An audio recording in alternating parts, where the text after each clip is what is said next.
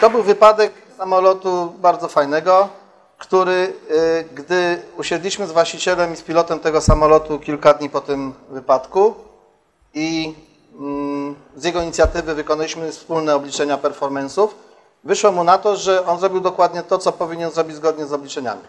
Nie wystartował z tego lotniska. E, Na papierze mu wyszło dokładnie to samo, co powinno wyjść. On nie miał prawa przy tym stanie na wierzchni oderwać się z tego lotniska. Nie miał prawa.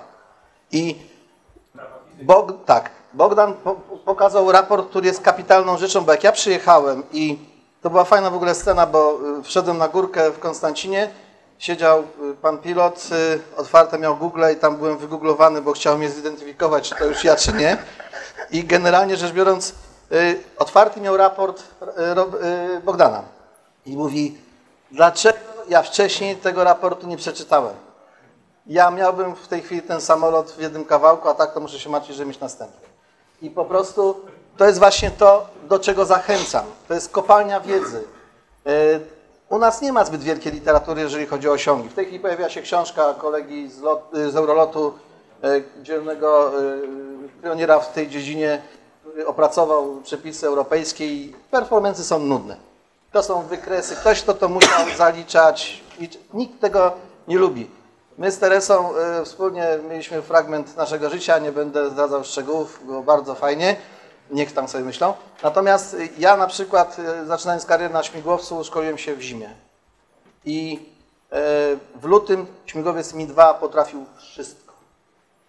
W sierpniu niestety pokazał mi wszystko. I generalnie to jest, ja wtedy wróciłem do podstaw. Sobie otworzyłem rozdział nie o nazwie performance, tylko osiągi. Zacząłem czytać krzywe, tam różne wykresy i zrozumiałem dopiero, co to znaczy, bo jak się przestraszy człowiek dobrze i ma szczęście, ma ten e, bonus taki od losu, że mu pozwoli refleksję zrobić, to właśnie, czytajmy raporty, uczmy się z tego, bo to jest, no, nauka to jest audyt niezwykły. Nikt normalny nie rozwali samolotu, żeby udowodnić. No, robi się jakieś tam crash testy, ale to w samochodach głównie, samolotów raczej nikt w ten sposób nie, nie, nie, nie traktuje. To są właśnie rzeczy niepowtarzalne. Przeanalizujmy, czy mając taki samolot, będziemy próbowali operować z Konstancyna jako lotniska bazowego. Zastanówmy się, czy może sobie y, wbijemy do głowy taką prostą. Nie ma lepszych reguł jak proste reguły. Nie popełniamy grubych błędów. Jak chcemy spotkać Wisłę lecąc powiedzmy, nie wiem, po prawej stronie Wisły do góry, to jak się skierujemy na zachód, to ją spotkamy. Nieważne, czy to będzie kurs 270 czy 200 czy 250. Nie popełniajmy grubych błędów. Chodzi mi o co? Jeżeli do połowy pasa nie mamy 70% prędkości koniecznej do oderwania, przerwijmy start. I to jest dobra decyzja. Jeżeli do 70% pasa nie mamy 50% prędkości, to już efekt tego jest taki. I to bardzo łatwo zapamiętać. Widzimy, jak samolot akceleruje. Cessna 172 z jedną osobą na pokładzie nie jest tym samym samolotem, co z trzema osobami na pokładzie. Cessna 172 przy plus 20 nie jest tym samym, co plus 30, tak?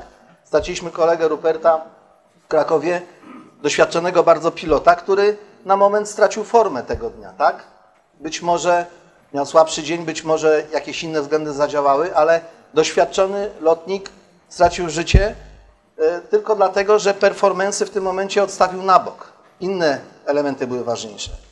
To nie są rzeczy trywialne. Jeżeli jesteśmy na lotnisku, na przykład takim, jak Konstancin. Ja mam takie buty w bagażniku i zawsze tam jak przylatuję sobie, chociaż latam na samolocie nie takim, bo nie umiem, natomiast na takim innym, który łatwiej się odrywa, szybciej, idzie jak balon do góry, ale sobie idę. Mam ten jakiś taki dziwny zwyczaj, że tych pieczarek szukam po lotnisku, przejrzę, tam dzik wyrył coś nowego, zobaczę sobie. Pierwszego dnia, pierwszego, pierwsze godziny na takim lądowisku, gdzie zarządzający jest osobą wirtualną. To nie jest lotnisko komercyjne, gdzie jest dyżurny portu, gdzie są siatki, gdzie jest sokolnik, gdzie jest mnóstwo służb. To jest pole. Jak tu chcemy wylądować, to naprawdę, ja wiem, lotnictwo jest dla wierzących w przygodę lotniczą, dla ludzi niesłychanie entuzjastycznie nastawionych do świata, ale ktoś, kto z pierwszego podejścia ląduje na lotnisku, lądowisku tego typu, to jest po prostu idiotą. No. Trzeba zrobić low pass, zobaczyć, co tam jest i dopiero wylądować, a nie przylato, przylatywać, nie mając nikogo na ziemi, kto zweryfikuje stan takiego lotniska, lądować. Polecam uwadze, bo w tej chwili jest duża łata w Konstancinie, 3 czwarte długości na kierunku e, 120 stopni, gdzie jest uwałowana nowa tam, bo tam dzi- dziki wyryły do rzecz i tam gospodarz próbuje zniwelować. Można się zdziwić, jak na wiosnę ktoś, jak to jeszcze nie zostanie dobrze związane, spróbuje wylądować tam z przelotem. Może się zdziwić i będzie, jak to nie używaj na pamięci Zbyszek Starość mówi, bracie, rozumiesz pomnik lotnika, nie? Po prostu to jest tak, ta, tego, na to trzeba zwracać uwagę, mieć z tyłu głowy. Y, latamy, y, tak patrzę na Wiesia, bo ja, Wieśki to fajne chłopaki, w ogóle my się znamy od, od pierwszego naszego latania i generalnie rzecz biorąc, y, tak patrzę, bo on już taki siwy, stary, w ogóle to parę lat temu było, ale mnie się wydaje, że nie ma lepszej metody na bezpieczne latanie. Życzę tego każdemu. Czujcie się, jakbyście byli na polowaniu, tylko że to wy jesteście tą zwierzyną. Wszyscy na was polują. Ja jestem kapitanem w linii lotniczej e, w przerwach między pracą w komisji i innymi zajęciami i na mnie wszyscy polują. Wyłudzają ode mnie podpis, żebym pokwitował wszystko, że coś jest zrobione, że wszystko jest formalnie spełnione. spełnione. Wszyscy na tego biednego kapitana polują. Ja tak się czuję. Więc muszę być czujny i po prostu pilnować cały czas swojego tyłu, tak? To samo na lotnisku. Mechanik daje wam samolot. Ostatnio spotkałem takiego mm, kolegę na lotnisku właśnie w Grądach, który przyszedł do samolotu, zdjął, dobrze, osłonę z ruki Pito, wsiadł, zapiął się w pasy i już chciał lecieć. To był student, uczeń, który tam loty samodzielnie miał wykonywać. No i zszedłem do niego z ciekawości, bo zawsze lubię poznać intencje człowieka, który demonstruje tego typu zachowania, bo to człowiek się całe życie rozwija. I mówię, słuchaj, y, generalnie zainspirowałeś mnie do tego pytania. Ty tak, kiedy widziałeś ten samolot? Może przyszedłeś, ja tu pół godziny siedzę na wieży z panem Heniem, pijemy herbatkę. Nie, wczoraj latałem. No dobrze, to nie wiesz ile jest oleju, paliwa, może ktoś ci spuścił te paliwo, nie przejdziesz, nie poruszysz śmigłem, czy tam ktoś nie odkręcił? No to spojrzał na mnie tak trochę dziwnie, ale wykonał te sugestie jakoś i ja się poczułem lepiej, on pewno nie, ale generalnie to są takie kardynalne rzeczy. Musimy tego pilnować, bo te wypadki, jakbyście zobaczyli, my tu dzisiaj cały czas chodzimy dookoła jednego tematu. Czynnik ludzki. Cały czas. Zobaczcie. Te wszystkie wypadki to nie są dlatego, że silnik przestał działać, bo te takie tajemnicze wypadki często, gdzie hmm, silnik jak przestanie działać, to nie jest powód, żeby się zaraz zabić, tak? Jeszcze można wylądować. Jak się ktoś przeciągnie, y, szczególnie instruktor na pokładzie, jeżeli jest, to znaczy, że to nie do końca jest dobrze. Natomiast takie lądowiska, jastarnia, pilnujmy się. Grądy, boczny wiatr, pilnujmy się. Lotniska z siatkami różnymi, tam mogą być różne zwierzęta, które wam wyskoczą pod samolot. Trzeba naprawdę zwracać na to uwagę. I te zdjęcia są bardzo istotne, a chcę wam pokazać drugi e, z cyklu niesłychanie interesujących rzeczy. Film to mniej istotny, bo w sumie... O może... Dobrze. Znacie? To był też... Ja zawsze patrzę y, z satysfakcją na taki samolot, próbujemy zniszczyć, a on jednak się nie daje i leci dalej. To jest film z tego startu. Przewiniemy go, bo tu jest mało akcji. Zaraz będzie więcej. Zwrócicie uwagę na tą scenekę, która się oderwie. Za chwilę pojawi się z prawej strony ekranu i poleci w lewą stronę. Ona się oderwie, po czym się zniży. Natomiast samego momentu uderzenia ziemię, bo to ono nastąpiło, nie będzie. Otóż nie będę dalej przewijał, bo coś zrobię źle. Za 10 sekund, minuta 30, jak pamiętam, coś się zdarzy. I pojawi się... O, jest! Zobaczcie, ten samolot się oderwał, a teraz zobaczcie, co on robi. To mm, low pass wykonany do granic niemożliwości, ale e, to był Niemiec, Niemiec miesz, mieszkający w Wielkiej Brytanii. Nie jestem uprzedzony ani do jednych, ani do drugich. Natomiast generalnie Seneca mi zaimponowała tym, co zrobiła. Bo na takich ogryskach, zobaczcie, kadłub też jest puknięty, samolot jest właściwie zdeniwelowany. No to jakieś tam szczątki czegoś, tam nawet nie wiem czego. Te Windowsy. Nawet nie wiem. Pan przewodniczący się ciągle upiera, że Windowsy są lepsze od Apple'a. O, to jest po prostu, to sobie można wytatuować na ramieniu. I, I zobaczcie, z jakim nadmiarem inżynierowie projektują, takie rzeczy. Jakie są marginesy bezpieczeństwa zawarte. Tam prawie już nie ma tej końcówki, a to jednak poleciało, dało mu już możliwość zrobienia kręgu i wylądował. Ten człowiek, właściciel tego samolotu, tego czegoś, co zostało po samolocie, e, rozmawiałem z nim, bardzo sympatyczny człowiek. E, On sobie nie mógł darować tego wypadku, bo wiecie, jaki był powód tego, co się stało? Czynnik ludzki. Pan wystartował, schował podwozie, wyprodukował gradient znoszenia, po czym upadła mu ołówek, gdzie miał tam clearance sobie zapisać na podłogę. No to co zrobił, jak mu upadł ołówek? Schylił się po niego. Jak się schylił, to się zorientował, jak trzepnął tymi śmigłami o ziemię, że już czas się odchylić. I generalnie, zobaczcie, o czym chcę powiedzieć. Polowanie trwa. Czeka na okazję. Książka Los jest myśliwym, którą znowił nasz serdeczny przyjaciel Jacek Janiga. Kupujcie, wspomagajcie Jacka, bo wydał następną książkę. Trzeba kupować, bo inaczej zbankrutuje chłop. E, To mówi o jednym, bądźcie czujni i jeżeli ktoś leci z jednym długopisem w lot, to jest optymistą. Dwa to jest taki powiedzmy realista, ale człowiek, który naprawdę jest zapobiegliwy, ma trzy długopisy, to jak mu jeden upadnie, tak, i trzy pary okularów, trzeba to robić, wierzcie mi. Jestem instruktorem na, na samolotach dużych i jeżeli ktoś przychodzi na praktykę, zaczyna latać, to przede wszystkim uczę go organizacji y, stanowiska pracy pilota. Jeżeli lotnik liniowy po starcie robi rotację, po czym sięga do tyłu do torby, szukając rajbanów, żeby sobie założyć, bo zaskoczony jest, że jak wyjdzie z chmur, to słońce świeci prosto w oczy. Znaczy, on się przygotował do lotu. Tak samo się dobrze przygotował, jak ten pan, który walnął śmigłami, jak ten drugi pan, który nie wystartował z Konstancina. Oni nie odrobili lekcji. Tym bardziej jest to trudne. Latanie w linii, latanie na IFR to są żarty. Dobrze o tym wiecie. Znaczy, jak ktoś nie spróbował, to jeszcze mówi, że to jest trudne. Nie. Latanie V to jest prawdziwe wyzwanie. Latanie V, gdzie brakuje nam trzeciej ręki. Każdy, kto latał na śmigłowcu, wie o tym, że to jest feller w życiu człowieka, nie ma trzeciej ręki, prawda? Kresko? To by się przydało.